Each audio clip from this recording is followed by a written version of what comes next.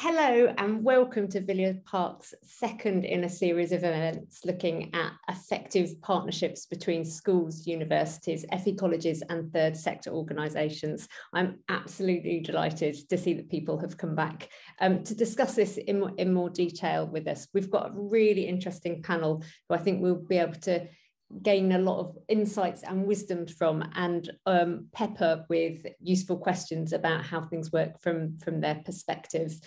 I think I have actually, looking at the list of participants, met most of you um, previously, but if not, I'm Ray Tooth. I'm the Chief Executive here at Villiers Park, and it's really lovely to meet you. I'm going to hand over to Julian in a moment to talk through what kind of how we've ended up where, where we are today, um, and then and then we'll come back to me for a conversation with our fantastic panel before we break up into into workshops so that we can do a little bit more of that detailed thinking and really hear about what it is that, that you're able to share with us. Um, after this event, there's going to be a third event which will involve um, John Blake, the Director of Fair Access and Participation, and probably, but not definitely confirmed yet, Ofsted, looking at how we make these partnerships work from a policy level. So that means we'll have been through a journey of looking at practitioners, at organisations, and then at policymakers to ensure that we really are able to hear each other in terms of what it is that we need to build successful partnerships and what it is that we're really able to offer into, into those partnerships. And from those conversations, we're looking to build a framework um, that will be available to anybody who needs it uh, to help us to navigate those relationships, which I think everybody agrees are really valuable when they work, really transformational when they work for the young people that we look to support. And everybody also agrees are really bloody tricky to set up effectively. And so it's how do we help ourselves? How do we work together to make sure we can navigate and establish really effective relationships? Because we're all aligned in terms of the outcome that we want to achieve, which is fantastic outcomes for the young people that we work with. Okay, I'm going to head over, head over, hand over to Julian, uh, who's going to talk to you in a bit more detail about where we're at at the moment. Uh, thanks, Ray. Um, yeah, so um, my part of the session today, I guess, is, is kind of developing some work that we started in the uh, the first of these workshops uh, last month, this month, can't remember, um, when we, we crowdsourced some thinking from different parts of the sector, from school sector, colleges, FE, universities, higher education, and um, third sector organisations as well, to reflect on the challenges we were all facing in terms of working effectively together across the sector. And I guess one of the things that brought that into focus was, as, as Ray said, you know, the kind of increasing focus on cross-sector working, particularly, I guess, you know, uh, most prominently from a university end, and um, the Office of Students is encouraging universities to work more closely with schools and FE colleagues, um, particularly around attainment raising. Um, but also, um, I guess, uh, from a third sector perspective, we work closely with schools and universities, so we we sort of um, see the, the, the, sector landscape. And we were interested in how the different parts of the sector joined up. Um, so what we've done is we, uh, we did a, um, a kind of a Jamboard collaborative exercise where we asked people to talk about what they had to offer other parts of the sector and also what they wanted from different parts of the sector. And that's enabled us to build a sort of framework of where wants and needs match and where those are unmatched. Um, so I can, I'm going to try, I always dread doing this. You know, when you share screen, it should be the easiest thing in the world, but um, here we go. So I'm going to try and share a copy. Hopefully everyone's managed to download a PDF copy. Um, hmm, I'm not sure. There we go. Uh, right. So I'm hoping that you will now see uh, the Word document. Is that right? Or are you seeing all kinds of other bits of rubbish on my, just you just seeing that, yeah? Great, so um, it's actually uh, gratifyingly long, the framework that we've got to, and, and I've um, was able to broadly um, divide the content into kind of three main areas. So there were wants and needs and offers around content, um, wants and needs and offers around the logistics and practicalities of working together. And uh, as a reminder, the, the main focus really is working collaboratively to support young people and, and particularly um, young people from disadvantaged backgrounds who, who, may not have access to the same opportunities as their more advantaged peers. Um, and then finally, a kind of miscellaneous, oh, there was um, actually quite, I was quite surprised by the amount of information sharing, either requirements or offers that, that people had. Um, and then a kind of miscellaneous um, thing. So I'm not going to go through the whole framework. And a reminder, this, this is just a work in progress. This is just a first attempt to kind of pull together the discussion so far. I hope we will have time later to kind of develop it further, but it will be a kind of an open source, open access document that everyone can feed into and we can modify as we go. Um, I'm not sure I've nailed the best way of representing it. Um, so I am very welcome uh, or I would very grateful for any suggestions from more design minded colleagues about how to lay this out in a way that makes sense. Um, but at the moment, it's basically, it's got the four columns for the different parts of the sector. Um, you've got an arrow for the um, the part of the sector whom, which made the point. If it's a blue arrow, it's um, something that they want to see. If it's a green arrow, it's something that another part of the sector offers. And then where the two things have joined, um, it's got this kind of bracket there. So in the, the top two rows, we've got um, our school partners said that they would like to see more bespoke and tailored programs and activities that actually match their needs. And uh, a university colleague said that they actually offer bespoke IAG for particular student groups from particular backgrounds. So we've got the sense of, of a, an initial match there of, of wants and needs. Um, but for the most part, there's a kind of a lot of offers and a lot of wants, but they don't always um, coincide. So another area that we we sort of saw a a, a, a you know, sort of a matching process was um, around the logistics and practicalities of working together. Um, so the, one of the comments from school and FE partners was that um, university and third sector uh, activities didn't always align with their calendar. So there were kind of great activities that were being offered when exams were on or when a certain cohort was out of school for re um, revising or so on. And, and then from the school sector, uh, sorry, from the university sector, we also had comments that it would really help them to work more closely with schools to understand what the school year looked like. So they could begin to actually they could actually plan out the, the schedule in advance. They would know what was coming up. They would know when to target stuff.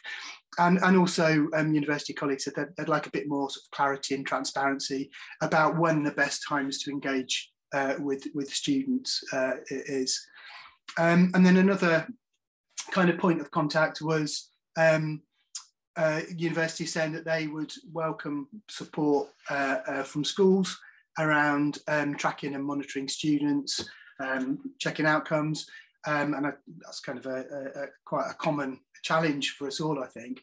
Um, but there are other universities who said that they could offer schools or potentially university partners with support with that targeting and tracking. So some people have solutions to problems. And I guess part of the, the challenge that we've now got when we look at the kind of um, all the kind of information and the knowledge that's needed across the sectors, how we put people who know with people who want to know what they know, if that makes sense. Um, so there's this kind of what we've got is a kind of a, an overall sense so far of what we might need uh, in different parts of sectors, but we don't yet have the solutions for how we match those those gaps, and, and we'll come back to that um, a bit later uh, on, hopefully. So I'll stop sharing uh, this now, but um, please do um, download a copy from the chat, um, take it away, feedback to me or, or to Ray, any suggestions, any thoughts, um, and then we'll, we'll, keep developing and, and, trying to flesh out some of those, um, uh, the, the, the, kind of gaps. so uh, the overall at the moment we're still represented we're still overrepresented by HE which is great because you know that's a, a, part of the sector that we work with closely. Um, we did send out a survey to schools and FE to try and get more feedback from them about what they wanted from university and third sector partners. We have got some replies um, which enabled us to kind of develop further. But I think there's still work to do in reaching out to those parts of the sector to get a, a more clarity around some of the um, things that they were um, asking for or had to offer. Um, and I think that is kind of an overview. I think it's it's probably quite a lot to take in. Um, so what I've done and what we'll come back to later is we've got a, a sort of Jamboard exercise where I've highlighted a number of areas that I think um, could do with uh, uh, heads and brains together to start thinking about what solutions might look like. And as as with uh, this, the, the framework will gather those um, those thoughts and those potential solutions, and we'll reflect them back, and then we'll work uh, uh, work out how we we put them in place and how we're able to deliver them. Um, I've got probably a, a, couple a minute or two if there's any kind of thoughts anyone's got from a very quick initial glance at the framework. Um, obviously, please feel free to tell me that it looks horrible um, because it does. Um, and again, any you know designers in the room, please help. Um, but any any kind of initial um, thoughts or suggestions or any glaring gaps that you've spotted in there that you think uh, we might need to fill? Please feel free just to un unmute or just throw something into the, the chat function and, and we'll pick it up. Um, which is the case as we go along. Please do use the chat function to, to keep adding thoughts, uh, questions, comments, design hints, that kind of thing. Okay, in that case, we'll, we will come back to the framework after our excellent panel discussion. Um, oh, sorry, so Steve uh, has asked uh, whether he's missed the download link. Um, Steve, hopefully if you scroll up to the top of the chat, there's the, the links there. Um, but any problems accessing it, please let me know and I'll, I'll wing you a copy over. Okay. Oh, oh uh, someone sent it round again. I think yeah. probably amazing amazing Stephen, who we can't even see, but he's really good. Just working his magic in the background. Um, so yeah, I'll, sorry, go on. I'll, I'll, I'll, I'll hand back to, to Ray to um, introduce our panelists. Fantastic, thank you very much.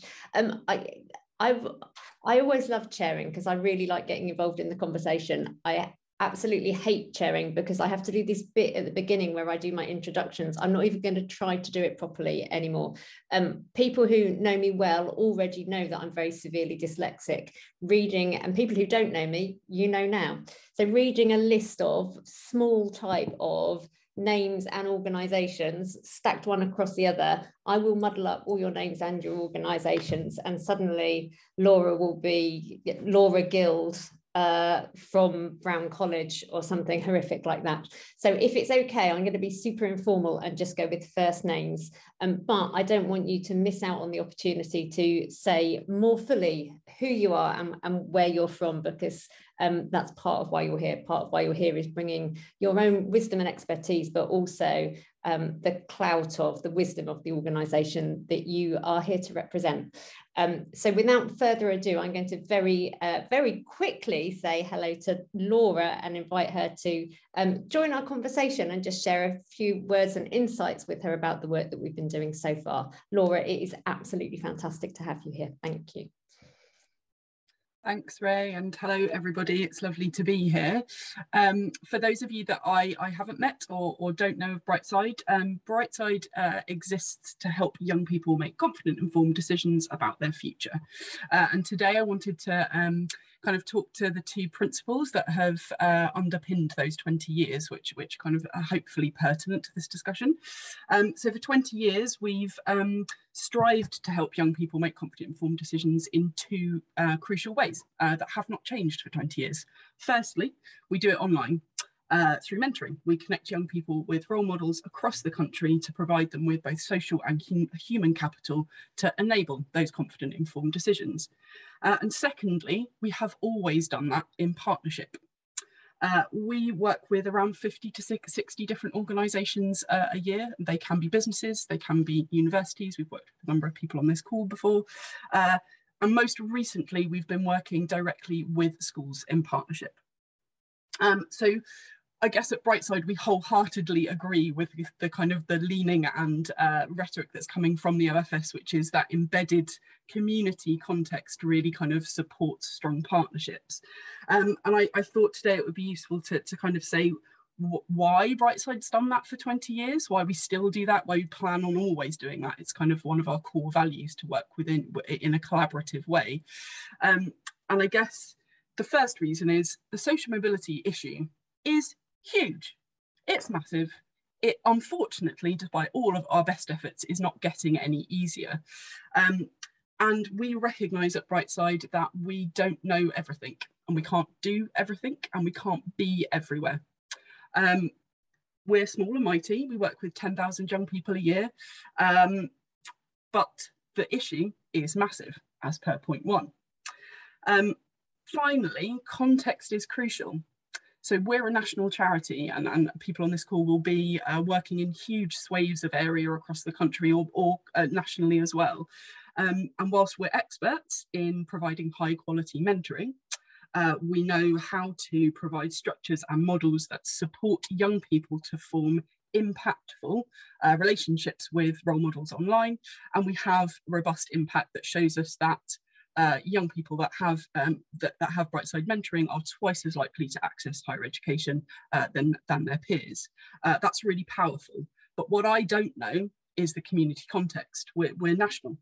Uh, I don't know what additional contextual challenges a certain group of young people in a certain area going to a certain school are currently facing. And as such, I can provide my expertise, but it may not support that group and it might not might not be the most powerful way of supporting that group. So partnership is is crucial. Um, and at Brightside, what I, I guess the guiding principles are to just lean into others' expertise, own your own expertise and lean into others in order to, to kind of really um, build powerful um, partnerships. Uh, so that's my kind of throwing it into the mix, having not been at the previous session. I hope that's use, useful. It's more relational than um, kind of logistics of partnerships, but I'm, I'm happy to cover that later on if, if needs be.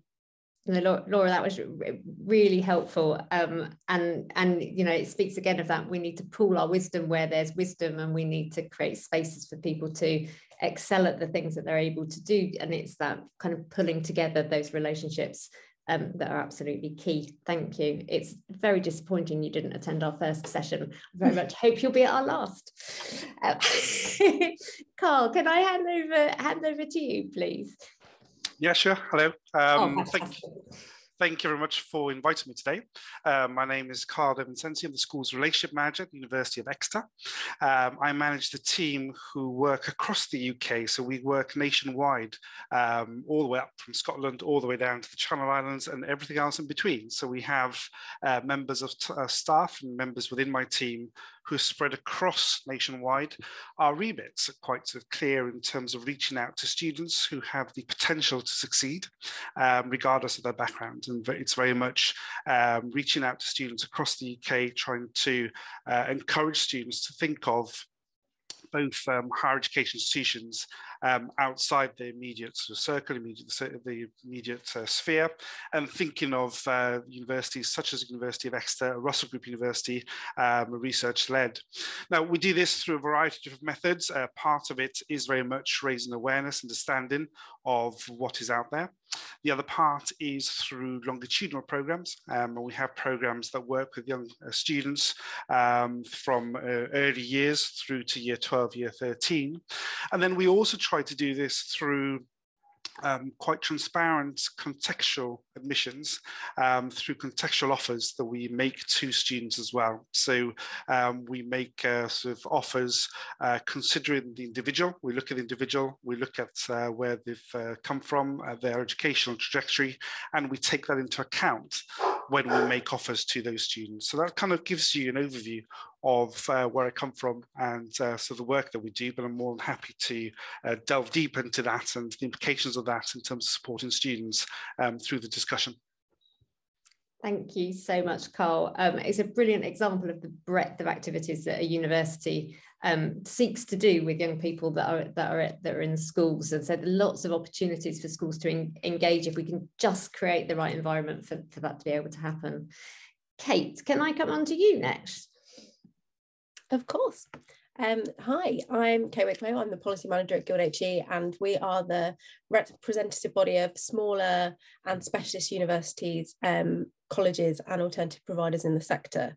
Um, and I suppose we uh, from my perspective, our members probably have a, a, slightly different experience to Carl in that they are small, um, so their teams need to be more kind of flight of foot and and lead on partnerships because actually they don't have the capacity to deliver um, the type of breadth um, of, of access work that genuinely needs to happen um, for social mobility to be successful. So um, for us, I think there are many issues that span lots of different age groups. And so us working in partnership with third sector organizations and schools to to understand what those barriers are and to kind of communicate different ways that we can um, raise attainment for, for those groups uh, is incredibly important. But like i say we can't do that alone.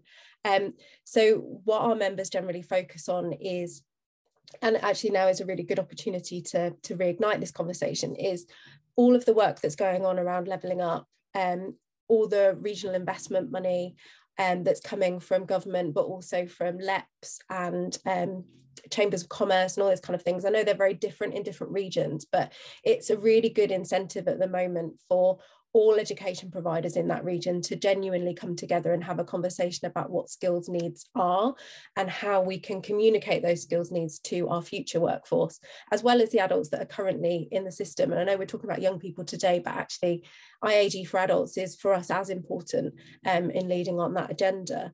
And so for us to be able to deliver that, we have to work collaboratively with third sector organisations, schools, universities and colleges, because uh, without that, we can't kind of realise the full potential of that region. But at the same time, I'm quite cognizant of the fact that many of my specialist members are highly specialist. And so they have to work both regionally and nationally in order to to raise understandings of this the really excellent um, but very niche professional um, employment outcomes that could exist if you went to a specialist institution and did something a little bit different so we're kind of trying to um, walk a very tight line with the resources that we have in order to do both of those things as well as we can.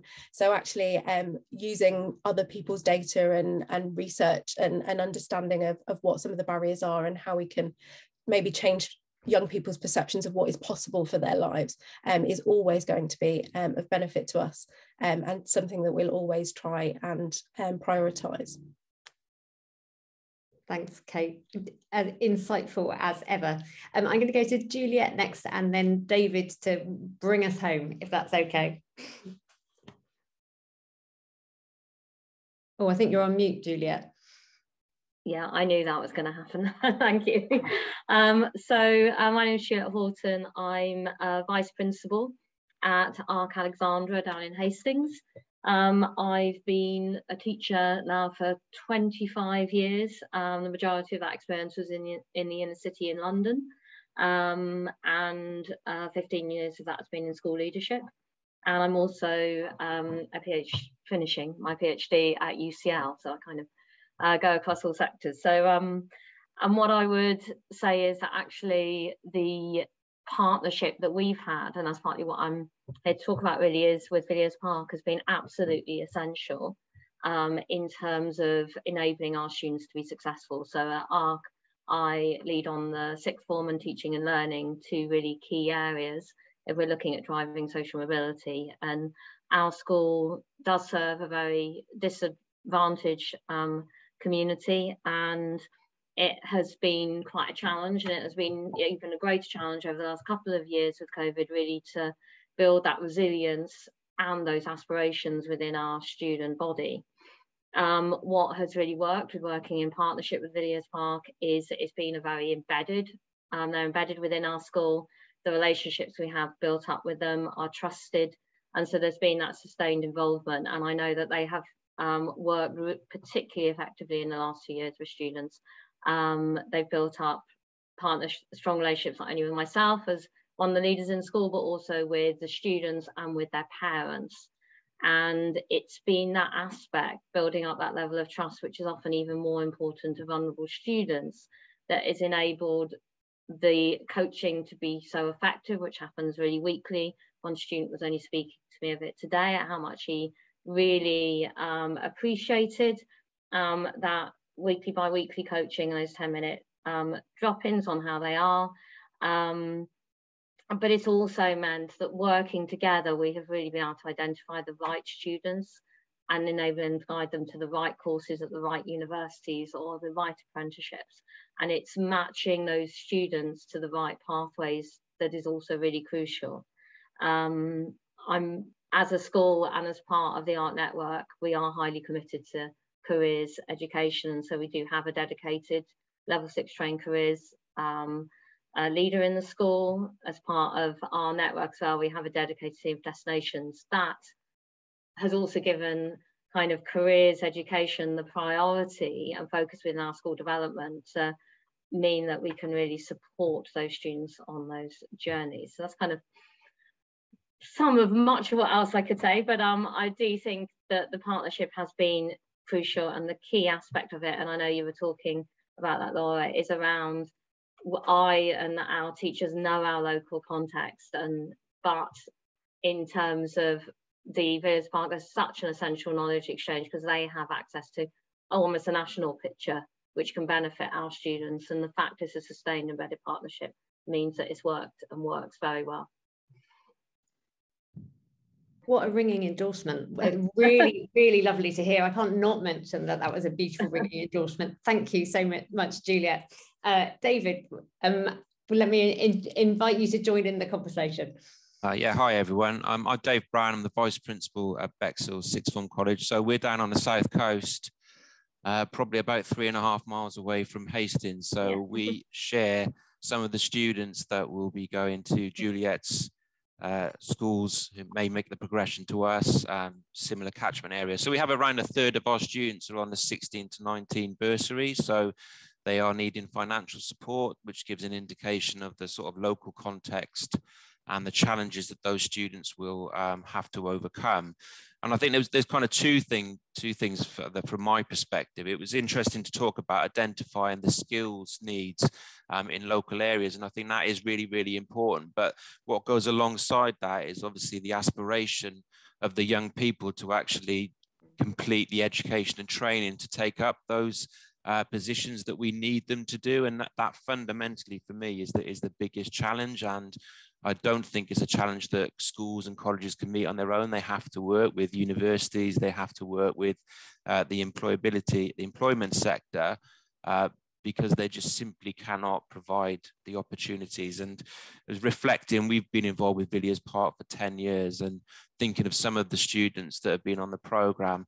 And it is all about that, that spark for that student, that thing that, that happens. It could be a masterclass, it could be a, a residential, it could be a mentoring session, uh, something that we can't necessarily offer to all of our learners that actually but does make a difference for those students on the Villiers Park program. And I think it's working with universities to see how we can broaden that offer, that we could make more of that available. Um, my background sport, I came down to Bexhill 22 years ago as an NQT PE teacher, and I didn't have a fantastic school experience myself. And one of the things that I've always recognized and, and really pushed with my students is, you know, giving them those opportunities to see what it is that they they could do to take them to the universities, to show them that, you know, this is somewhere where you might you you could go. This is somewhere you do belong, no matter what sort of barriers may be put in place. It is something that um, is a destination that you could go for. So really it's just seeing how we can develop those networks and partnerships to, to provide those opportunities for all students not just obviously those that benefit from the Villiers Park programme. Absolutely, thank you. Um, thank you so much, Dave. And again, another another ringing endorsement for working in, in partnership with with Villiers. It, it occurs to me that one of the things that I heard um, from Carl and Laura and David and Julia was this was an observation about the importance of, of longevity of a relationship relationships between organizations so we talked a little bit about you know having um, and Carl mentioned having longitudinal programs with young people so we might there might be an intervention that follows young people for a number of years but we're also i think touching on the importance of long-term relationships embedded relationships um, in part with partnerships so so making building those long-term relationships between uh, an institution or an organization um, and, an, and another one. And that that's part of how you create a culture where those things happen more organically. And I just, I just wondered, um, maybe, maybe um, Carl might have some thoughts about it, and it might be that David or Juliet have some thoughts about what it is as organisations that we need to be able to have in place to make that work. Um, because we're both talking we're, you're all talking about being able to do that successfully. So I'm, I'm really curious about what is the thing that means that long-term relationships between organizations can happen. Do you want me to um, david as you are still on screen do you, do you want to wade in first or do you want a moment to think about it? Uh, no i mean i think things that are successful are for, for students particularly who are struggling to make any type of transition is, is seeing that students similar to them have made that progression you know in the in the past. You know one of the things that i'm sure um, juliet does with her students and we do with our feeder schools is to is to use role not role models for the wrong word but you know alumni that these are students who came from your schools these are students who had similar challenges to you similar school experience and this is what they've gone on to do. And having that as a, a kind of recurring theme to embed that that program and that you know that established progression route to it might be to a particular university or you know particular uh, employer because we, we do obviously do that as well. I think that definitely helps but um, I think it's just got to be something that's very clearly set out. That's the thing about the program with Villiers Park. It's a clear program of activities. And if we could do that, that reflects obviously the needs of the schools and the college, that would be helpful. That's great. Thank you. Carl, do you want to add anything about the way in which you go about establishing those, those long-term relationships with the schools that you're working with? Certainly. Um, and David, just to pick up on that, I think we, many universities have what we call student ambassador programs, which is very much trying to encourage that whole role model that the, that could, that person could be me uh, response from young people to look at them and say, look, they made it, they made it through those obstacles. Um, looking at the sort of a broader picture in terms of engagement, I guess, um, part of and part of the struggles, you know, my job would be so much easier if uh, we were able to have access to all schools across the UK, have access to all um, easy access to schools and colleges and be able to sort of make inroads in that. Um, and part of it is the mutual understanding of what we're trying to achieve. Um, and uh, that can be quite difficult to implement and to develop that understanding amongst um, schools and colleges at times where there may be a perception of what universities are doing may be different to what our actual aims and objectives are. Um, so breaking down those barriers and trying to encourage schools and colleges to uh, sort of understand what the university mission and agenda is, and that, actually what we want is the best for students, um, regardless of who they are, regardless of their backgrounds. Um, we actually want to encourage them to, um, and it's working on those aspirations, um, changing those aspirations, working on that. Um, so part of the the difficulty here is how do we get into and knock on those doors and get into those schools and colleges in the first place um, and develop that relationship. Um, and at times we have used um, partnerships and we've used uh, so lots of different organizations to circumvent and try to get in into schools through those routes. Um, and that's actually generated a lot of uh, sort of leads for us and generated uh, good relationships with those schools and colleges. So we've been able to do that in that way. But any ideas, any thoughts on that process of being able to make inroads into schools and colleges and develop that meaningful relationship um, would be really valuable for us. And Go on, Juliet. No, I was saying with that, and that's brilliantly poised, Juliet. I'm sure you've got um, things to add, but that kind of how is it that, that you do uh, have in get an introduction into a good relationship with a school would be really interesting to explore what I was going to say is I think that's actually where the third sector can be really useful. And I think um, that is where um, that kind of, and I, I mentioned it, but that knowledge exchange that can happen. So I can, you know, with our relationship with Villiers Park, I, I, have gone back to, I said, oh, I'm interested in this or this, or she wants to go to this university. And then he goes away and finds and creates those links. And I think the third on you know with the best will in the world as school leaders we're incredibly busy and there's lots of other stuff to do. But having um, a third sector that's really involved and really focused merely on those kind of progressions can be a great way of facilitating and setting up those relationships i think. Um, i think as well in log liberty in schools there's something in schools about school cultures and prioritizing it. As i said i think the fact that we've got a school culture that places high value on careers education, you know, we have a seven year curriculum plan and as part of that is Villiers Park. So although um, there's been different people kind of leading on that partnership, it's always a responsibility that, okay, if that member staff leaves, then obviously someone else assumes it and there's a handover. So to keep these partnerships working, and I've worked with, done, I've led on educational business partnerships as well in the past, and it's about making them part of the structure, kind of the life of the school, ensuring that when one person's left, there's a proper handover and that it's embedded.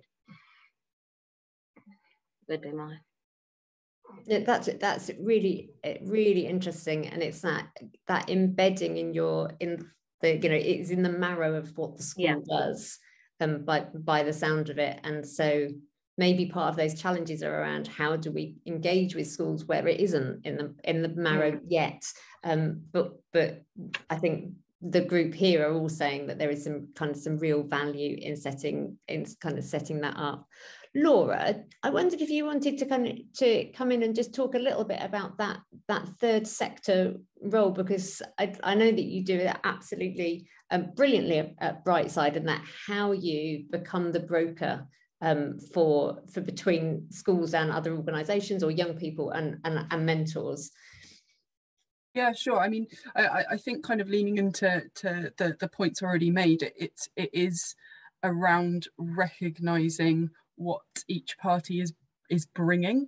Um, so the, this kind of the school context, the access to young people, the the kind of community context of what's going uh, on with that school, but also um, we we call we we call it kind of co-creation and it's it's to spark that as uh, Carl was talking about that kind of what what is the common goal here?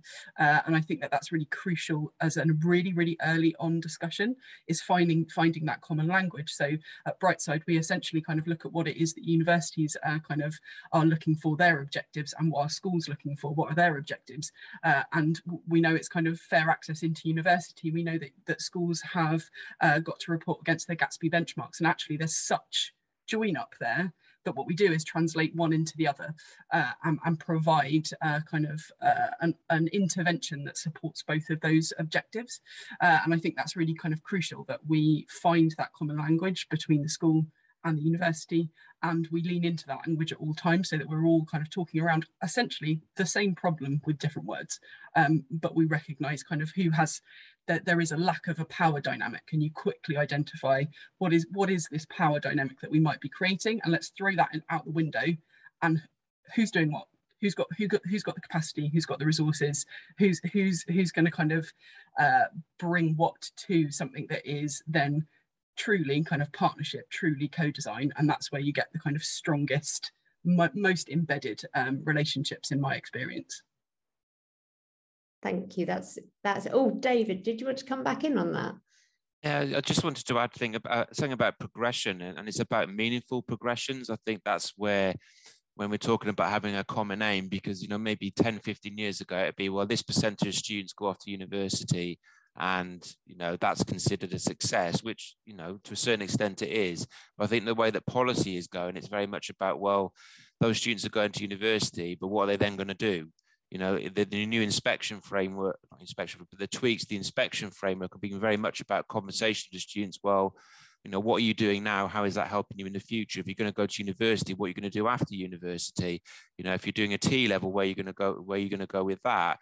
So I, I think that that hopefully gives it gives a context that people can all work towards is that well it's not just about progression to the next stage of education it's about a meaningful progression that is is linked to something that the student can kind of see as, a, as an aspiration for the future Thank, thanks, David. And that's a really nice kind of, it's that bringing in the, we're not interested in just getting bums on seats. It's about being really considered. It's that nuance of how do you find the right fit for somebody that meets their aspirations and doesn't send them down, kind of send them down a, a blind alleyway um, into and blind alleyways are funny things aren't they? Because they can be all sorts of things. I often think there are a number of kids who are very unhappy doing medicine and become really miserable doctors because there was a lot of pressure on them to follow that pathway because it has a particular esteem about it and and really success i think is about making sure that people have the opportunity to consider what it is that they really want to do and what what success feels like like for them that they have agency over that um Kate, I just wanted to come to you with your, you have such great insights into a kind of a breadth of institutions that you work with. And you mentioned very briefly in your introduction um, the challenge of internal resources in, in small institutions looking to build partnerships. Um, and I just, I was just curious to understand a bit more about the kind of how, what, what resources you think are needed to make those useful, to make effective relationships. Because one of the things that we're talking about kind of when you get down to brass tacks stuff for planning in organizations even when we're all aligned in terms of the outcomes that we want to achieve, ultimately we have to have enough you know hands to the pump enough people on deck to be able to build those relationships that we know are going to be be fruitful so i and so i was really curious from i think a sector that has a fantastic understanding because of your tight resources of just how much effort it takes to build a good relationship whether you had kind of any insights into how you think about doing that effectively with very low levels of resource? Um, I think the most successful versions of those are ones that are embedded in an institutional wide strategy and ones that are genuinely lived as values. Um, a lot of our members are deeply rooted in the local regions that they serve and have created their curriculum portfolio in light of the fact of, of the skills needs of that area or the fact that there were not um, educational opportunities in those spaces to do higher education. A lot of our um, members are in kind of rural coastal regions or um, out of town locations. Um, so they were founded around the principles of trying to open out access to as many people as possible. So it does make it slightly easier, although they are smaller and their the budgetary resources are smaller and the number of people working in the kind of WP team are smaller because it's embedded throughout the institutional strategy, it enables more people to be actively involved in those conversations and to undertake some of the delivery of that work and to work collaboratively with employers and kind of the professions that they serve. So it isn't just one person sitting in an access office talking to a school, but it might be the, the head of the creative design department who's going into schools, supporting them to understand what um, creative skills gaps there might be in that particular school setting. So it isn't just about um, just kind of do trying to do everything for everybody, but to really kind of be focused on on what the value of the the organization is, but also the the kind of aims and objectives that you have. Um, to be able to deliver something meaningful because you could just try and do everything but that just isn't possible for us it would just I, I don't know. I mean i just have visions of some of your specialist institutions. It's bringing together agriculture and dance. I think that you could do something phenomenal in terms of raising certainly curiosity about what what is available in the higher education landscape. Um, we've got a we've got a couple of minutes left. Kate before you go anywhere i was just going to invite people like in 30 seconds. So this is the really difficult really difficult bit. If there was one thing that you could change Mm-hmm. about the organization you want to partnership partner with. So if there was one thing you wanted to be different with the schools that you want to work with or the the third sector organizations that you wanted to work with to give you a sense of ease in building partnership what would that be? Okay, so for me, it's not necessarily about the individual engagement, but about the national conversation that we're having about access and social mobility because I think at the moment there are some quite damaging or potentially conflictory policy discussions that are happening with government in newspapers in certain areas that are kind of trying to create a battle between universities technical education providers and go, going and getting a job. And i think actually that's just noise that is putting some people off from wanting to engage with us in all of our access work, but also is stopping schools, especially, from being able to put resources in place to be able to have a full spectrum conversation about all of the potential opportunities their students have going forward. Um, and for me, that's the biggest barrier actually is, is making sure that the, the narrative is right. That's great. Thank you. I'm gonna I'm gonna do a quick fire round kind of round the room. Juliet, can I come to you next? Yes. Okay. So I'm not actually about working with Villiers Park, but in terms of universities, I would like um, more training, kind of more kind of open access and knowing how to um, build those links more readily. That's fantastic. Thank you. Um, Carl, would you like to come in?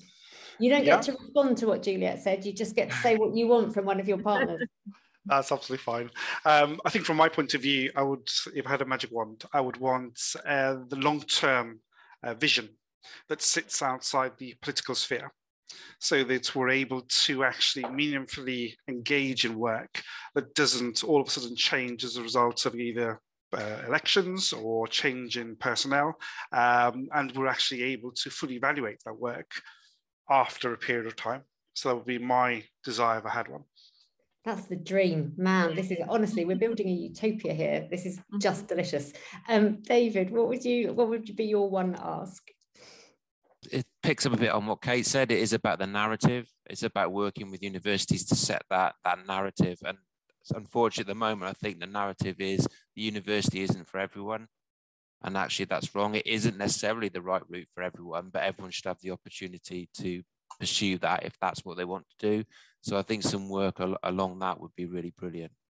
That sounds that sounds great. I couldn't agree more. Um, Laura, I'm going to let you uh, wrap us up.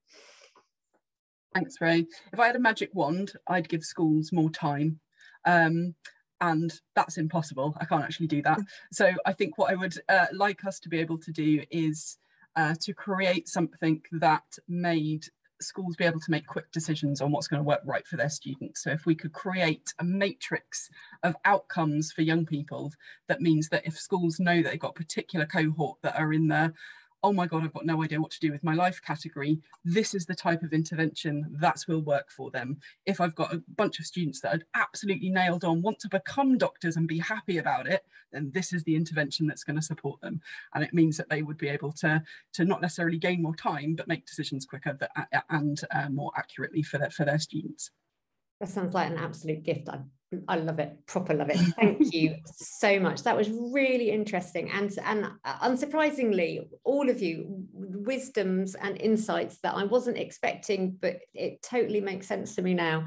Um, and, and that I agree with, you know, in spades. So thank you so much for joining us um, today and, and sharing your thoughts and perspectives. I'm going to hand back over to Julian now so that everybody else gets a chance to uh, chuck in their two pennies worth. That's great. Thanks, Ray. Um, we've got about 20 minutes. And um, as Ray said, you know, we've got a, a virtual room full of brilliant brains and experience. And it seems like a missed opportunity not to try and capture some of that.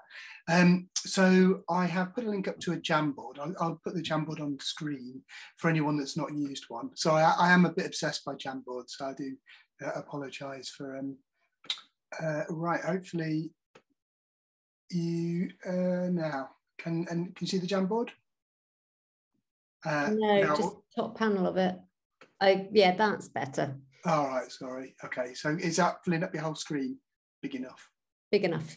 So, um, what I've done is um, I've just, with a having gone through the the framework, um, there were kind of sort of themes that seem to come up as being problems and challenges. So we've got the kind of you know the, the, the gaps that we might want to solve, and I wondered if it was worth just spending sort of 10, 15 minutes uh, in in kind of as a, as a giant collaborative breakout to start putting some ideas down about how we might address some of those challenges. Um, so on the first um, the first page is um, a communication issue, and again this is sort of reflecting on some of the things we talked about in the panel. Was that um, there are a lot of brilliant opportunities and activities and programs, um, but there there may not be a kind of a, a all-encompassing central point at which young people or schools or people advise them can find out about the opportunities. So I wondered if you had any thoughts about what kind of um, solutions we could put in place to make sure that everyone could access the solutions that were available. Uh, I'll go through all the questions and you can just jump on whichever um, one you, speaks to you most. Um, another thing that came out of the um, the framework discussions was a kind of mismatch between what schools might school partners might need at a particular point and what universities or third sector partners might have been offering at the same time and there seemed to be an opportunity to kind of bring the the, the want uh, and, and the solution together. So are there any ways that we can make sure that people who offer programs and activities understand what be, what uh, beneficiaries need or what students might need at a particular time and what's the most effective way of making that uh, information available. Um, again, this is a, a, similar sort of issue and, and, Laura, I was really taken with your discussion of um, uh, uh being a, an organisation that recognises what it knows and what it doesn't and being completely open about um, seeking to you know work with partners who have the knowledge you need whether that's local knowledge or knowledge about particular careers. And again it's the same sort of issue. If we've got um, colleagues across the sector with particular information about career pathways about technical um, vocational qualifications etc and people want to access that information how do we catalog that information and how do people find out where they can get the knowledge that they need to build that kind of effective partnership um, again, we, we sort of talked at the beginning about the kind of this, this issue of timing and the fact that if you're outside of the school sector, you may not always be aware of the optimum time for particular activities to have the most impact, or you might schedule things at times that just don't work for school partners or, or students. So how can we sort of um, make sure that we have that, that efficient scheduling across different partnerships? Um, same question as the first one really is, is how do we make sure that different parts of the sector can find and access the information they need to best support the young people we work with. Um, and then again, you know, this cropped up in the, the discussion as well. You know, how, how can we make sure that we get this longitudinal sustained development that allows programs and um, interventions to evolve and develop between the partnership so they keep fulfilling the, the needs of, of all the stakeholders and then yeah just any any ideas about how best to represent the framework any comments or suggestions.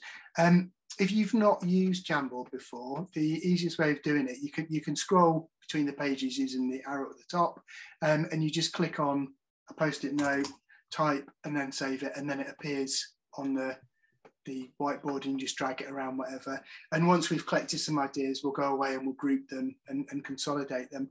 Um, so if that's okay, I shall just um, sort of one, one, womble around and read out key points as they appear and just give you a bit of kind of quiet thinking time to start um, putting any solutions you can think of or comments, questions for uh, colleagues, uh, anything you want to, to populate these boards. So just find a question that resonates and um, use as many post-it notes as you'd like. It's all sustainable because they're not paper, so go to town.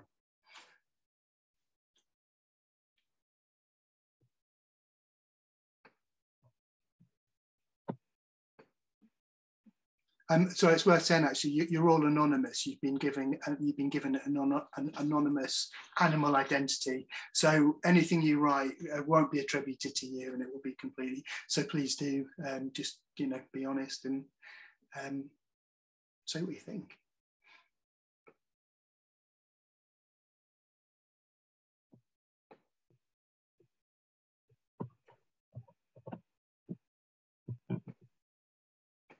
Uh, while you're thinking, actually, the, um, the, the, the, discussion in the panel was really interesting. Um, and it made me think of um, one of those, um, you know, those films where uh, a small human gets in a giant robot and is able to extend their capacities by using robot arms and that sort of thing. It struck me that's what partnership is, isn't it? And, and David, you spoke about reach, and Laura, you spoke about knowledge. And it's um, basically partnerships are like robot armor, I've decided. That's a fantastic Julian metaphor, if ever I heard one. So on this board, we have a scarlet letter, an A,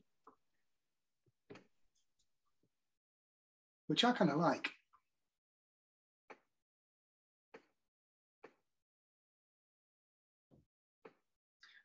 I think a lot of the kind of the challenges that have been isolated in the framework around um, working in a in a complex sort of system with multiple stakeholders and the challenges of, of finding or getting through to the people that you need to when you need them, the partners you need to kind of build those robot arms. And um, I know um, I've got, got, some colleagues from UniConnect uh, partnerships here, and obviously part of the role of UniConnect is to do that in a on a regional level and bring school, university, college partners together. Um, but I'm not aware of anything that works like that on a national level. So that's great. So in terms of the content matching, um, we have a suggestion that we, we look at a 360 design approach. So we include partners in as much of the development phase as possible.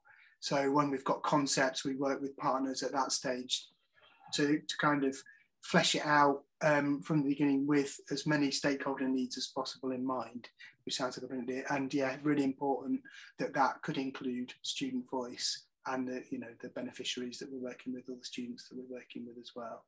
Um, and you know it's, it's, welcome that we're increasingly um, looking for opportunities to bring in um, student voice in, into what we do across the sector. That's uh, an interesting um, bit of local context there. So um, Sussex has a, a LEP, a secondary school board and FE consortium and um, they use that as a platform or a point of contact to sort of, I guess, sense check needs and to agree common needs. So that's an effective kind of partnership working to sense check, uh, and it broadens out the, the perspectives involved. Um, another suggestion that we include stakeholders from the start and in the design and development of interventions. And I think that that sort of came through in the discussions around the framework in the sense that different partners were offering different partners what they thought they wanted rather than what those partners actually wanted. So having that discussion early on to make sure that the offer meets the needs and requirements uh, can help pinpoint uh, and target the needs they're addressing. In terms of um, communication. Uh, how can we assume that information opportunities available to those who most benefit from it?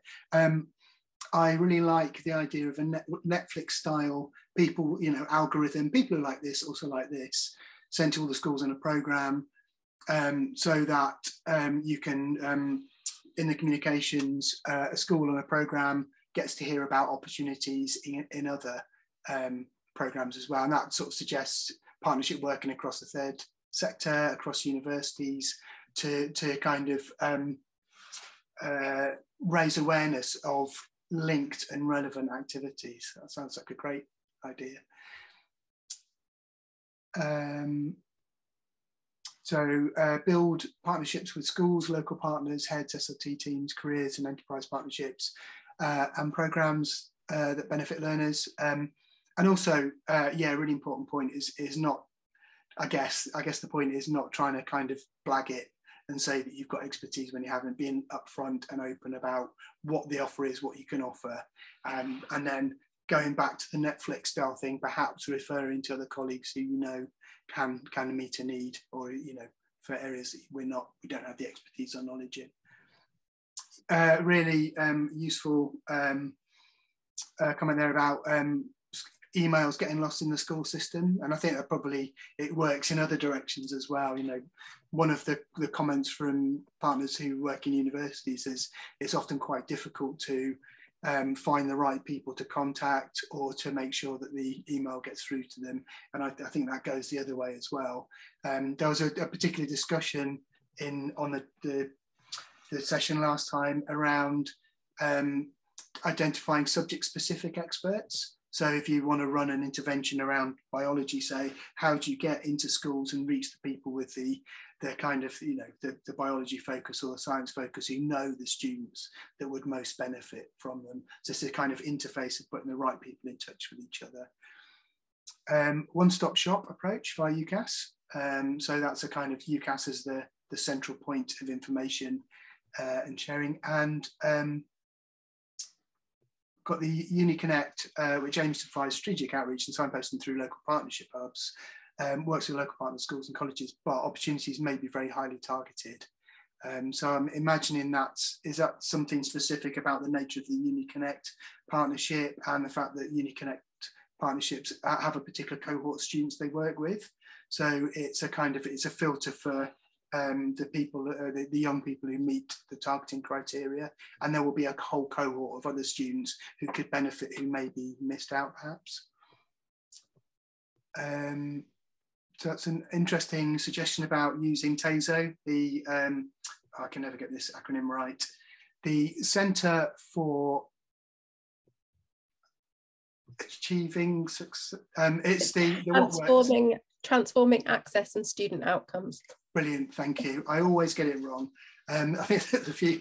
Um, so it's using the, the TASO as a, a, national WP sector oversight organisation um, or utilising relationships between regional UniConnect partnerships as well. And again, that's a, a, kind of, is there a central point or a central hub that we can use to facilitate this sharing of information and, and sort of almost be a one-stop shop for partners to, to um, find the opportunities that are available.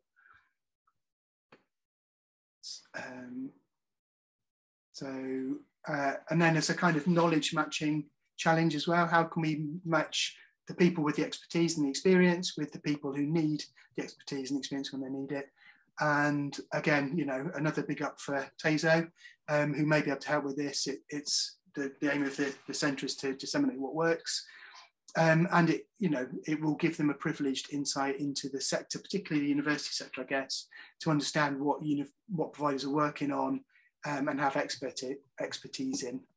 And it's something the OFS may help as well. So it's kind of a, the need for a brokerage system between knowledge and knowledge needs. Um, yeah, no, that's uh, someone after my own heart. Um, sessions like these are great for knowledge exchange. Embrace digital. Oh yes. Um, send around recordings um, as if uh, if you don't uh, if you didn't make it because it's not because you're not interested. Yes, the problems of sort of synchronous delivery and getting a time that works for people. Um, just to say that we will be uh, making the recording for today's session available. Um, we might cut out some of my waffling, um, but it will be available to people who aren't able to make the session today. Um, better connectivity to academic researchers who are doing some excellent, insightful work, but are not always great at communicating the policy practical implications key, key findings. Yeah, that's that's a different. it's a different part of the sector, isn't it? That you know people might be lucky enough to have links into, but the academic sector may have a tendency to speak to itself rather than to, unless it's part of a project, to make sure that the um, their work and their thinking has um, can have practical implications as well. So I think that's yeah, keep keeping um, keeping tabs on um, the people doing the, the relevant work. That's that's a really good, uh, useful, implementable hint, I think. And we asked partners we work with to create a wish list for us and then RAG rate it so we know what to prioritise. Um, we can then act as an intermediary, deliver the expertise if we have the resource. So that's a really useful um, strategic approach to um, prioritising uh, needs and deciding where you uh, a partner can add most value. Okay, uh, and not solution, but a, a reflection and, and, possibly a plea. Um, avoid meetings for the sake of meetings, which will mean people don't engage and therefore less likely to be able to gain an accurate picture of knowledge and needs. So that's presumably, is that a, a sort of suggestion that we, we find a way of um, sharing information that doesn't involve um, you know, a full meeting, we might want to chunk information down and make it available in other, um, other formats. Um, yeah, there's um, in terms of the um, linking delivery with requirements and timing, sharing the calendars at the beginning of each academic year between partnerships. I guess there are kind of digital tools as well that might help with that. Um, I think possibly it might be a case of um, different partners sharing expertise and experiences as well about what what they've done and what works when. So you know, we we for example, you know, you might say that we had a particular success in scheduling a type of intervention at a particular point in the year, and the feedback was that it plugged into curriculum work that schools are doing, or vice versa. So yeah. Um, yeah, sharing information on key dates. Um, schools uh, advise when they want things as early as possible. This goes back to that suggestion that we, where possible, we try and work on a yearly calendar so we schedule as much as possible. um, yeah, the importance of, of planning and, and communications. Um, yeah, it's. It, I mean, that's. A, I think it's probably a challenge for all of us, given the the kind of the the pace of, of work and, and life. But that carving out time to get as much prep done as early as possible um, to to get us ready to hit the ground running uh, in September. Um, yeah, it's interesting. Again, it's a kind of potential of a digital solution. How do we share information? Um, doesn't rely on emails, uh, maybe a web forum with opportunities, something like unicasedays.com, which I'm not familiar with. Um, I don't know if that's, that presumably is where universities can advertise um, open days and campus visits and stuff. Um, so yeah, some kind of online uh, resource where people can post um, either needs or, or offers. Oh, that's interesting. So um, avoiding duplication. There's nothing worse than students being swamped by the same thing and not being able to filter things out or know which resource to trust. So that's, you know, on those occasions when there are a whole bunch of things happening at the same time and they look similar, young people and schools will have a limited amount of resource. So it's that, I guess, choosing the, the right solution. Um, okay, I'll just quickly go through these and then we can go to the, the kind of um, wrap up and, and closing um, reflection. So um, support longitude, how do we support longitudinal development and evolution? Engagement with parents is important. Um, having a shared narrative goal of social mobility between schools and FEHE. Yes, currently we have different data on monitoring, which is not shared between different sectors and different definitions of, say, disadvantage and so on. And that, you know, that, that cropped up in the, the framework as well, that we're all being held accountable to different performance measures and different kinds of things. So there's a lack of joined upness across the sector. Um, okay, uh, yeah, working with parents is key, informing and supporting them in their knowledge so they can support their children, also know who to contact for carers and questions. I think that kind of, I guess, a, a, co, a group that may have been overlooked in the past and is now coming into visibility is working with parents and families as well to make sure that there's the kind of uh, a fully rounded um, set of information going out. So um, um, the, the Jamboard will uh, remain open, so please do keep jotting things down. Um, before the next workshop, um, and we'll, we, will be in touch with the date, um, we'll reflect back and, and, group many of these points um, so that we've got a kind of uh, an extension of the, the kind of framework developing. Uh, as uh, I mentioned before, if um, you have any thoughts or ideas, please just do please do just contact uh, me or, or, Ray or and um, uh, send your suggestions through. Um, a, a, good reflection to go go gadget arms there. Thanks, Laura. Um, Ray. Uh, I get I get the opportunity to do a little bit of summing up. Gosh, do you know what I was thinking?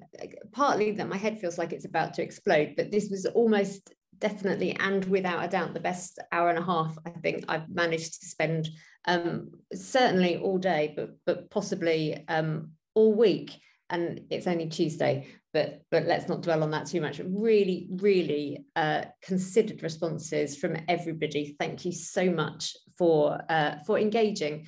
Um, and I was trying to, I was trying to pull out what were the themes that I'd heard through the discussions, and it, it sounds sounds to me like, and I think that when we do some further analysis of people's responses, but it, it seems to me like one of the things that almost everybody has mentioned in one way or another is the huge importance of community, of being embedded in the communities in which you're working, and that we might look to engage with partners who aren't community based and they bring in tools or knowledge and skills that we can use but unless you are engaging you know unless there is community engagement at some point in that process then it then it really doesn't do the things that, that we need it to do. So i think the focus on community was really useful for me. Um, i heard lots of people talk about the value of long-term relationships and that's about staff being in post long enough to build relationships um, with with other organizations, but also long-term relationships being about organizational relationships. So, so that those interactions are in the bones of the ways in which organizations work, whether that's school strategies or university strategies or third sector strategies. It's about, but this is the way we work. We work in a way that, that delivers partnership. Um, I think that there was some interesting comments there about the slowing of policy, policy change, which lends to both those things that I've already talked about. It's that when there's a new initiative every five minutes and a new focus, that it it does damage to the partnerships that we're we're establishing, and so creating space for partnerships to kind of really meld together um, and flourish means that we need to slow down some of that quick paced change. Um, and then the last bit was around conducive narrative um, and the need to have conversations with with young people and to have the the general kind of mood that's happening um, needs to be tweaked away from this um, this kind of zero sum game stuff about who should and shouldn't access different types of education and a bit of a you get one chance at this and if you screw it up then you're done. And so you have to choose the right path for you. And there's some weird stuff about class and whether you know different types of people should be going to different types of courses. And none of that helps people make good decisions where they feel like they have agency. And so creating narratives that help young people to really tune into what it is that they want to achieve and the different ways that they might do it and the possibilities that are available to them um, and making sure that those possibilities are available to everybody is really key to creating the environment in which all the things that we're doing um, are able to work effectively. I just wanted to touch very briefly on, on next steps. As I said, we are looking to hold a third event in this series of three. Um, we haven't confirmed a date yet because we are all being super flexible around uh, John Blake's diary and making sure that he's able to attend because otherwise it's going to be um, there's going to be a period of about 20 minutes when nothing happens um, and that makes for really boring television so we're not going to do that um, so we will everybody who's engaged in this this event and the last one will get sent um, sent an email to let you know when the next event's happening and how you can engage in it we're thinking about doing a slightly different format. So I think before the event, there'll be an opportunity for you to send in questions to ask John, um, and then we'll do some work behind the scenes so that we can cluster those and really have an opportunity to kind of scratch beneath the surface really of, of, of his thinking and, and in terms of challenges, his vision for the future, and also what he thinks the solutions are. Um, and then the last thing I think that comes out of all this, which is by far the best bit, is that as a as a collaboration between schools, FE colleges, universities, and the third sector, we will have built a framework that articulates how we collectively, as a partnership, think partnership working um, could be done in a way that is effective, sustainable, robust, and and long term and i'm really really looking forward to getting to the end of this piece of work not because i want it over and done with um, but because i think having that available making sure that we can really share that and we can consider that as we start to develop the work that all of us are doing um, over the coming months and years is going to be really, really valuable. I don't imagine for a second it will be a static piece of work. I think it's the kind of thing that once we've put it's kind of given it wings, shoved it out of the nest. Um, it, I'm hoping that it will fly and it will keep, we can keep adding to it um, and engaging with it in different ways so that we can make sure that those relationships and partnerships have the absolutely the best opportunity to succeed so that you know so that together in collaboration we can make sure we are achieving the very best possible outcomes for the young people that we're all here um, to serve I'm going to wrap it up there. I just want to thank my panel again so much um, for, for your really considered pearls of wisdom, um, both in terms of your introductions, but also your really quick and yet so insightful answers to my selection of random questions. Hugely, hugely interesting. Thank you. Thank you very much. Um, if people wanted to chat about anything that we're doing on this project or anything else that we're doing at the moment, then by all means, um, as Julian says, drop Julian uh, or me um, an email or a tweet or a message. We're relatively easy to get hold of. and we'd really like to talk to you about that a little bit more. Hopefully, um, I'll see you all back here in a few weeks to, to talk all things policy and partnership. Um, it's going to be an interesting one. Um, and in the meantime, enjoy your evenings. There's a bit of sunshine left. Go and uh, have a cup of tea in the garden or walk the dog or watch some Netflix, whatever it is that you need to do to unwind, because we'll be cracking on again in the morning. Thank you so much. Take care.